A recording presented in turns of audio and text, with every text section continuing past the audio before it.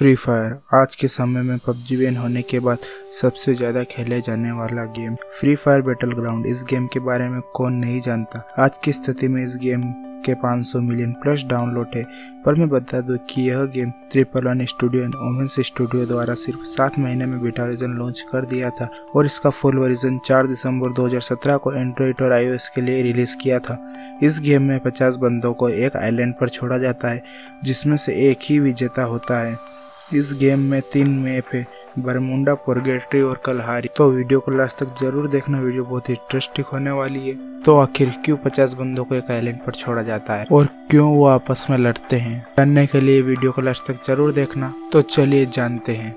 Back story of Free Fire बहुत समय पहले एक एफ़ एफ़ नाम की मिस्ट्री ऑर्गेनाइजेशन थी, जो कि अलग अलग बैकग्राउंड और क्लास वाले लोगों का एक ग्रुप बनाकर एक आइलैंड पर लाया गया।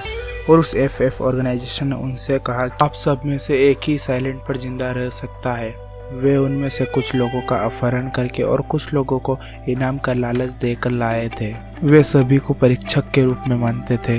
वे उन पे कई प्रकार के टेस्ट करते थे, जिस कारण उनमें से आधों ने अपनी यादों को खो दिया था। अब सिर्फ़ वो वही मानते थे जो उन्हें एफ़ एफ़ ऑर्गेनाइजेशन कहता था, मगर फिर भी उन्हें पता था कि उनको अगर जीवित रहना होगा तो उनको आखिर तक टिकना होगा। उन्हें एफ़ एफ़ ऑर्गेनाइजेशन का एरोप्लेन, एक आइलैंड पर पैरासूट के साथ कूदा दिया करता था। उनको एक टास्क दिया जाता था। उन्हें उस आइलैंड पर गन्स ढूंढ की सामने वाले बंदों को मार के अकेले लास्ट तक गेम में रहना होगा, तभी वह जीवित रह सकेंगे। और इसी कारण आज हम जो फ्री फायर खेलते हैं, उनमें हम 50 बंदों को एक आइलैंड पर छोड़ा जाता है और हम आमने सामने मारकर जो आखिर तक जीवित रहता है, वह विजेता होता है। तो यार, कैसी लगी आज की fake story of Free Fire मैं बहुत ही कम समय में बहुत ज़्यादा स्टोरी सुनाने की कोशिश करता हूँ। मगर आपको अगर लंबी स्टोरी सुनना पसंद है तो कमेंट में ज़रूर बताना। तो बस यार, आज की वीडियो के लिए बस इतना ही।